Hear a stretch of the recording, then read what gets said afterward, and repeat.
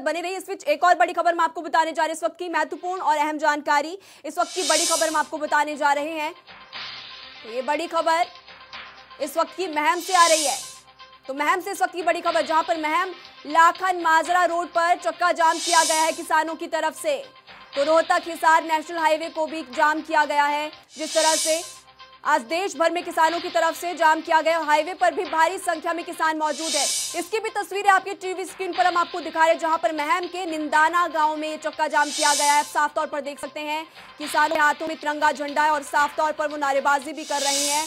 और इसी के साथ साथ किसानों की मांगे, तीनों कृषि कानूनों को रद्द करे और एमएसपी पर कानून लाए।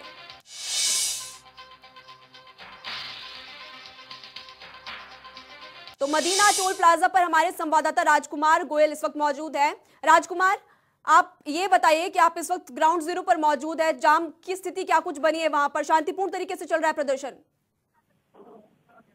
जी बिल्कुल। मैं मदीना टोल के पास हूँ और यहाँ किसानों ने चक्का जाम किया हुआ है। ये इशार इशार दिल्ली राष्ट्रीय राजमार्ग है।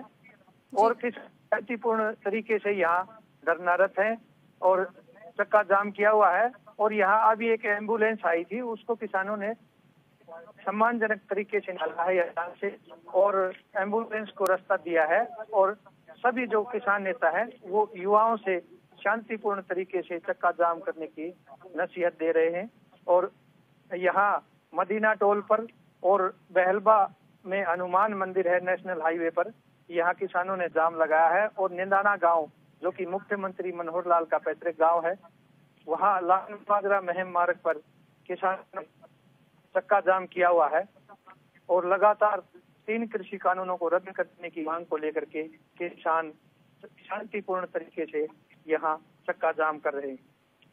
जी, राजकुमार तो जिस तरह से आपने बताया कि ये जो आंदोलन, ये जो चक्का जाम किया जा रहा है किसानों की तरफ़ से, वो इस वक्त शांतिपूर्ण तरीके से चल रहा है। लेकिन किसानों की वजह से जो चक्का जाम लगाया गया, उसमें स्थानीय लोगों को तो दिक्कतें आ रही होंगी। किसान, स्थानीय लोगों को किस किस तरह की परेशानियों का सामना करना पड़ रहा है इस वक्त? बिल्कुल ये इशार जो दिल्ली मार्ग है, इसके दोनों तरफ़ जाम की वजह से वाहनों की लंबी कतारें लगी हुई है।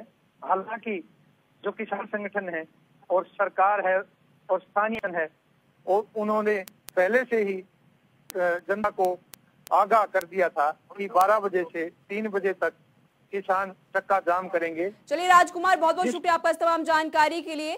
तो इस बुलेटिन में अभी के लिए फ़िलहाल इतना ही। जनता टीवी आपको पल पल की खबर से आगे भी अपडेट करता रहेगा चक्का जाम की खबर को लेकर। तो अब तक के लिए आप देखते रहिए जनता टीवी क्योंकि जनता टीवी आपकी ताकत